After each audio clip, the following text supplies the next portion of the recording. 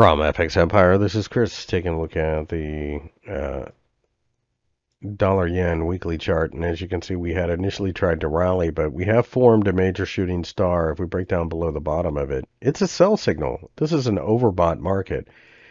It's difficult and kind of scary to do that, but you can see why I would anticipate there could be a bit of a pullback. Really wouldn't be a huge surprise considering. I mean, look at this monthly chart. This is an area that has been important. If you were to believe the inverted head and shoulders, and I know I'll get email about this, then you are looking at 175. Um, not that I believe that, but if it were true, you'll have plenty of time to buy it.